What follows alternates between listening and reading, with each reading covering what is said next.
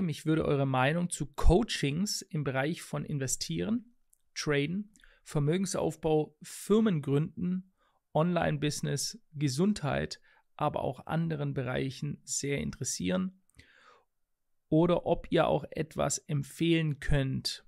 Ich freue mich jedes Mal, wenn eine neue Folge kommt. Ähm, ich denke, dass sowas grundsätzlich wichtig ist zur Fortbildung. Ähm, also ob jetzt ein Coaching live vor, bei jemandem vorgenommen wird, ob das ein One-on-One -on -One ist, also ähm, dass du eins zu eins mit jemandem sprichst, ob du das in einem Kurs machst, ob du das online machst. Du kannst durch alles lernen. Ich sehe nur die Problematik teilweise darin, dass heutzutage jeder dritte Hansel, der ums Eck kommt, einen auf Coach macht. Ja, und alle sind plötzlich Life-Coach oder Gesundheits- oder Fitness-Coach oder Trading Coach oder Investment Coach. Ähm, und da würde ich immer die Frage stellen, was qualifiziert diesen Menschen dazu, ähm, das zu machen, um mir wirklich helfen zu können? Ist es nur sein Lambo, den er mir zeigt? Ist es nur auch die Profile von solchen Leuten, ja? Die ähneln sich meiner Meinung nach, wenn ich das beobachte, immer sehr.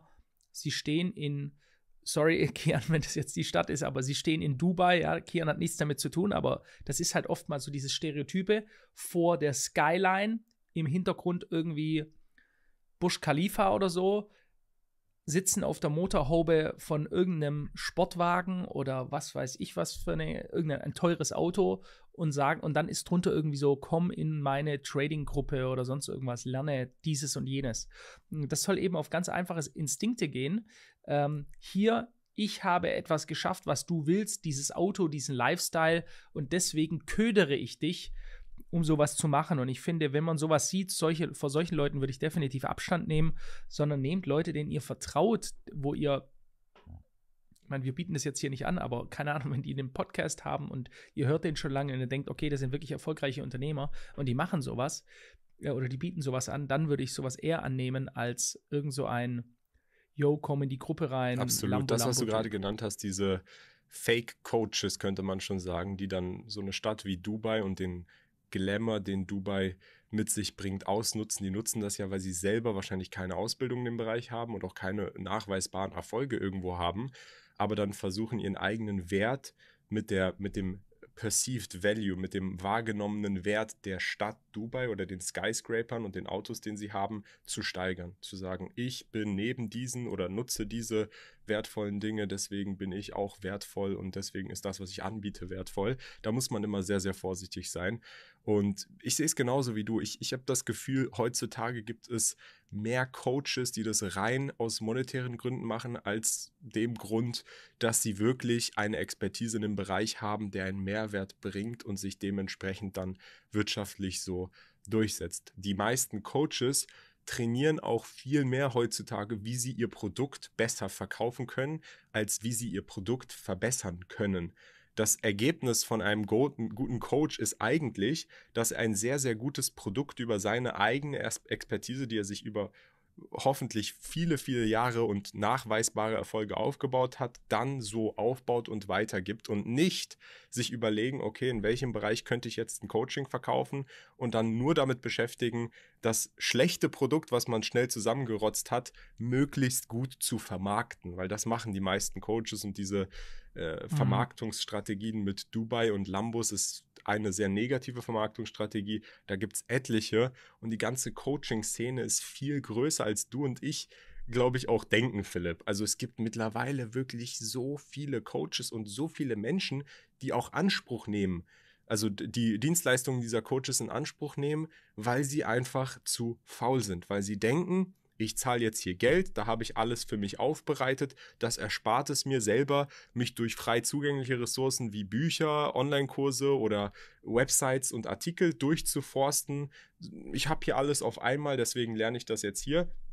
Und meistens ist natürlich, wenn du alles auf einmal an Info hast, ist das natürlich besser für dich kurzfristig äh, auf, aufnehmbarer, als wenn du dir selber alles durchforsten und erarbeiten musst. Und dann hat man auch das Gefühl, oh, jetzt hat man hier einen Mehrwert bekommen.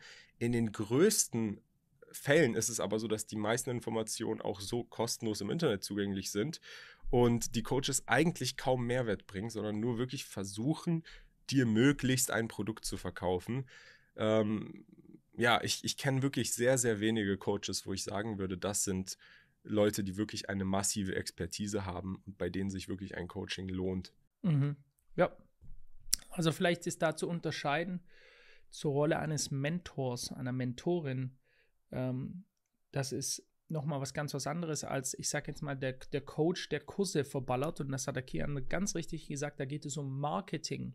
Und die anderen Coaches wiederum machen wieder Marketing, um zu zeigen, wie die Coaches unter ihnen besser die Produkte verkaufen. Wie schaffst du es, ein hochpreisiges Produkt zu verkaufen? Seht ihr doch bestimmt so oft vor YouTube-Videos in dieser Werbung von den immer gleichen Leuten. So, wie schaffst ich zeige dir, wie du einen 10.000 Euro Kurs verkaufen kannst. Hm. Die wissen aber gar nicht, um was das Kerngeschäft geht. Da geht es nur um Marketing. Wie schaffst du es, die Gier so aufrecht zu erhalten, dass du den 10.000 Euro äh, Kurs verkaufen kannst, äh, um den Leuten in einem gewissen Zeitpunkt so eine Gier hervorzurufen, gleichzeitig eine Unsicherheit über sich selbst vielleicht, dass sie dann bereit sind, die, die Kreditkarte zu zücken und äh, diesen Kurs in der Hoffnung zu buchen, weil Gier hervorgerufen wird, dass sie dann innerhalb kürzester Zeit, wir zeigen dir, wie, wie du innerhalb kürzester Zeit Millionen Umsätze machst, bla bla bla. Ja. Und die Rolle des Mentors ist wiederum was ganz anderes. Das ist ein Mensch, der schaut, dass, es, dass du mit einem gewissen System, einer Struktur weiterkommst ähm, und äh, deine Ziele erreichst. Ja? Also seid vorsichtig bei sowas. Ich meine, Fortbildung ist sehr wichtig, aber immer genau schauen, bei wem man das macht und wie diese Person aufgestellt ist.